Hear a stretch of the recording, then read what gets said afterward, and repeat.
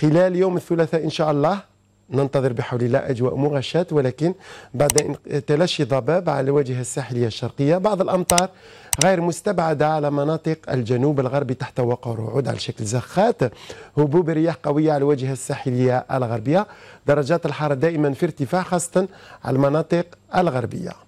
خلال يوم الأربعاء بعض الأمطار غير مستبعدة خلال أواخر النهار ستخص الهضاب العليا الغربي وكذلك الوسطى تحت وقع رعود نسبة رطوبة عالية على الواجهة الساحلية.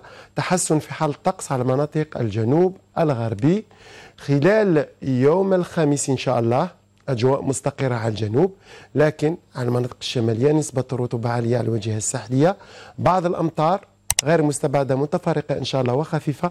ستخص الهضاب العليا الغربية مع هبوب رياح قوية مما يعمل على تطاير بعض الرمال.